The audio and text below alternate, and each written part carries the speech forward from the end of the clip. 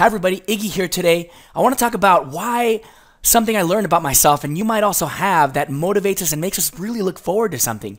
I remember when I was younger, I would look forward to skateboarding more than anything. And if you think about skateboarding, skateboarding is like very painful at times. And it takes a lot of work, a lot of sweat, and you don't land a lot of the tricks that you do. But we still enjoy it like crazy. This mastery that one accomplishes fills us with so much hope and joy. I remember I could visualize a trick so well, so vividly. For example, if I want to learn a kickflip crook, oh man, I could see my leg flipping that board in slow mo, landing on that ledge, and grinding with an incredible pressure of control, and then popping out of it. If you're a skateboarder, you know that incredible feeling. We need to learn how to apply that visualization and that hope to everything else in our life. Tell me if you agree.